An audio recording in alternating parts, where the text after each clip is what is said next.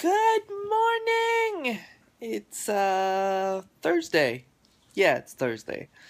Um tonight is worship team rehearsal at church. Um and it's an early morning meeting. So it makes for a really long day.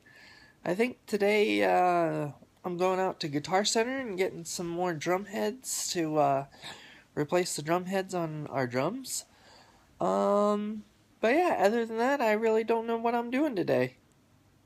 And you're like, all right, I can put it in a cooler and it'll take forever, right? If you wrap a warm, like a, a bottle, Uh-huh. in a wet paper towel and then put it in the freezer, you will have a frosty cold bottle in five minutes. It's time for public humiliation. Spell the word wrong, sit down in front of your friends. You know, that's great for little egos. Hey, look at me, I'm a moron. I wasn't even close. That's why I admired that kid who spelled it wrong on purpose so he could sit down, you know? He knew he wasn't gonna win, so why stand there for three hours? First round, cat, K-A-T, I'm out of here. Then as he passed you, I know there's two T's. 97.3. WMEE. Somebody must be moving. Budget truck, budget truck, budget truck, budget truck, budget truck. Yep.